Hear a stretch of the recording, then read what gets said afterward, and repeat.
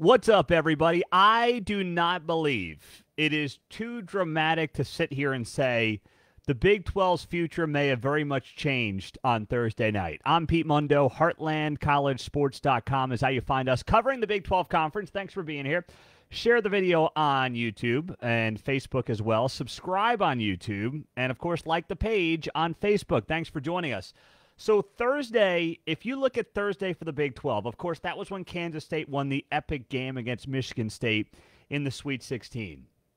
I don't believe it is too much to sit here and say that day, March 23rd, 2023, they have changed the future of this league forever. Mark this day down. If you're a diehard Big 12 fan, as I am, and as obviously you are if you're on this show, mark this day down because we will remember it for a long time.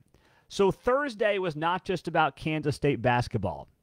Thursday started off, in case you didn't know what happened on Thursday morning, the Big 12 announced that the league would be partnering with the legendary Rucker Park in New York City.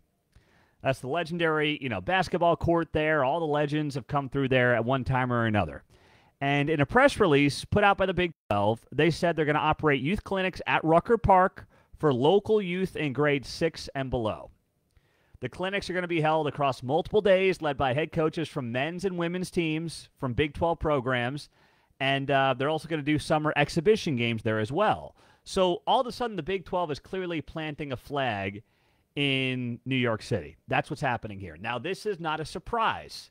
If you know Commissioner Brett Yormark's background, you understand that this guy obviously is from New York City. He was with the Brooklyn Nets. Then he's with Roc Nation, Jay Z's company. He's a basketball guy. He's a New York guy.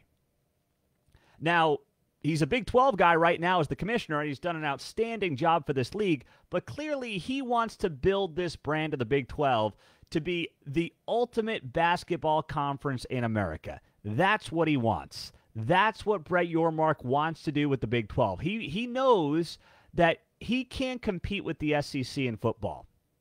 And he's not going to try to compete with the SEC in football. Now, you can still look at the SEC and you can sit there and you can say, hey, the SEC is going to be a great football pro- conference. We all know that. The Big 12 is not going to duplicate what the SEC is doing, but it's still going to be a very good football conference. We know that. When it comes to basketball, that's where Brett Yormark sits there and says, I see an opportunity. I see a chance for this league to be the clear number one basketball conference in America hands down, nobody's going to come close. That's what Brett Yormark is seeing right now with the Big 12 Conference, and he's right to see that. He's right to look at this as a massive opportunity. He believes that college basketball is undervalued. He thinks that when it comes to these TV contracts, the contracts are basically paid for football and then they throw in basketball. And Yormark's like, hey, football's one product, basketball's another. Why don't we split this thing up? And that's what's going to happen, by the way, when the Big 12 goes to market in what, 2031. That's how this is going to go down in the next decade. They're going to split up those sports and put them to market separately, and that's a smart thing to do. So, Brett Yormark, it appears, based on reports and rumors and everything else, wants to build a super conference for basketball. He wants to bring in and he wants to have on board potentially Gonzaga. He may want to poach a couple of Big East schools, right? He may want to say, hey, Villanova, Georgetown, St. John's, whoever else you want to add into that mix, he may say, you know what, we want a super conference for basketball. They're not football schools, that's okay, but we're going to create the best basketball conference in America and plant our flag in New York. And he started to do that in part with this move with Rucker Park on Thursday. That was announced on Thursday morning. So that happens Thursday morning. And then comes Thursday night. Then comes this epic all time college basketball game between Kansas State and Michigan State, coincidentally enough, in New York City at Madison Square Garden, the world's most famous arena. That's what happened on Thursday night. And Kansas State comes in there with, by the way, four guys from New York City, led by All American Markquis Nowell, and they put on a show of all shows. It was an all time great college basketball game. It does not get any better than what you saw on Thursday night. You had two teams that were crisp, not a lot of turnovers in that game. They were on fire from three pointer. The two teams combined for almost 50% from downtown. It was a great basketball game. Goes to overtime. Kansas State, of course, gets the win. And you think about think about this, right? Kansas State on the biggest stage in the basketball world, that is Madison Square Garden, gets a huge victory in the Sweet 16, goes to an Elite Eight, with, by the way, the most exciting player in the Big 12 and Markquis Nowell. I'm not sitting here saying the best player necessarily, but the most exciting player in the Big 12. No look passes, behind the back, alley oops, 19 assists sets an NCAA record. That's the kind of night that it was for Kansas State and Markquis Nowell. and that's what makes him at five foot eight the most exciting player in this conference, hands down. That guy puts on a show on the biggest stage. Kansas State wins the game. They're going to an Elite Eight, first time since 2018. They've got this first year head coach in Jerome Tang, who people were kind of unsure about. How good was he going to be? Longtime assistant at Baylor, and he gets the job done and then some. They were picked last in the Big 12 Conference, last in the Big 12 before the season by a wide margin. They had two returning players from last year after Bruce Weber got let go. And now they're in the Elite Eight.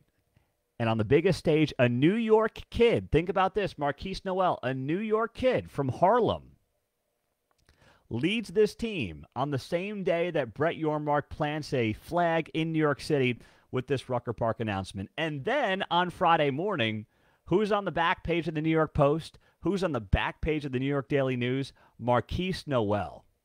I got to give the Daily News credit. Their back page read as follows King of Manhattan, parentheses, New York and Kansas. And then the back page for the Daily News, or the back page for the New York Post, read the King of New York with a picture of Markquis Nowell.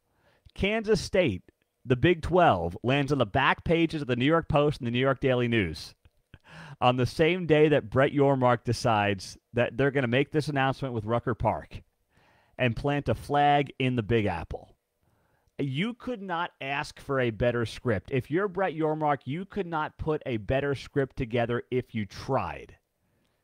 That's how great of a day this was on Thursday for the Big 12 Conference. And it's one of those things that if we may look back in five years and say that night helped change this league. I don't want to overreact to it in the short term and say that anything's going to be different tomorrow for the Big 12. It's it's not. I'm not making that case. But when we tell the story of the Big 12 morphing from what it was pre Brett Yormark to what it's going to be in a post Brett Yormark world in 2025 and 2028 and 2031. If we look at it from that perspective, that's where this day is going to be part of that story. And by the way, it might be a part of that story that for those of us who are diehard fans, we're going to remember. We're going to be involved with. We're going to be thinking about down the road. That night made a difference. That night mattered for the Big 12. And that's my big takeaway from Thursday night. I mean, yes, Kansas State's going to an Elite Eight. And by the way, with Alabama getting knocked out, Kansas State is the highest seed on the left side of the bracket remaining. Think about that for a second, right? It's it's unbelievable. I'm not sitting here right now. I got to see a little bit more. Let's, you know, get to the Elite Eight first before I start predicting anything like Final Fours or anything of that nature. Or I should say national championships. Final Fours, you know, they should beat FAU. And we'll talk more of that uh, as the day and the, you know, next 24 hours go on. But Kansas State, based on seeding at least, is the favorite on that side of the bracket right now. Think about that. And then Texas is the highest on the other side. We could have I don't want to jump to any conclusions here because Texas is playing as I have this conversation. We could have an all Big 12 national championship. It's not crazy. And Thursday night is one of those nights that we're going to look back on and say, you know what? Um, that might have played a big difference. That's how great that game was. That's how important that day was. And the Big 12 could be forever changed by Thursday, March 23rd. I'm Pete Mundo. It is so good to be here with you on the show. Thanks for joining us on heartlandcollegesports.com. Hey, um, if you don't subscribe to the channel on YouTube, subscribe to our podcast as well. We're on there all the time. Sometimes content from the podcast does not make it to video, so be sure to find us on iTunes and uh, check us out on the podcast as well. Thank you, thank you, thank you. And I want to note this too.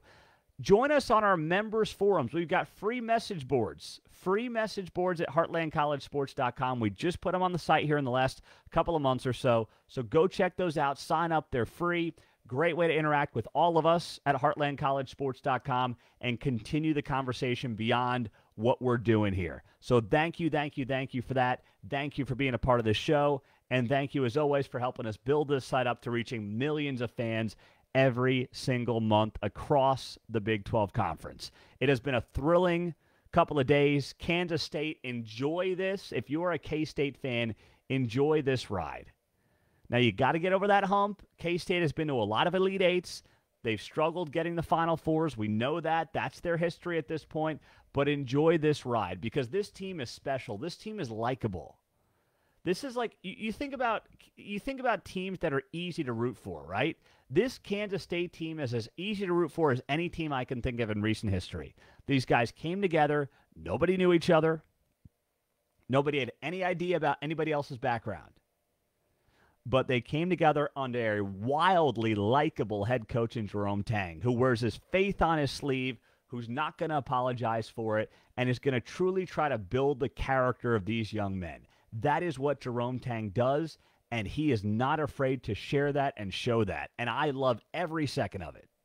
I am all about it. And I'm happy for him. I'm happy for that fan base. And let's be honest, you know, this team has not been to a Final Four since 1964. A lot of Elite Eights. A lot of Elite Eights. Since 1964, K State's been to the Elite Eight in 1972, 1973, 1975, 1981, 88, 2010, 2018, and 2023. This year, no Final Fours over that run. They've lost every time. So now they got to get over that hump, and we're hoping K State can do it. I'm Pete Mundo on Heartland College Sports. It is great to be here with you, and uh, we appreciate you joining us. Subscribe on YouTube, share on Facebook, and we'll talk to you soon. Have a great rest of your day.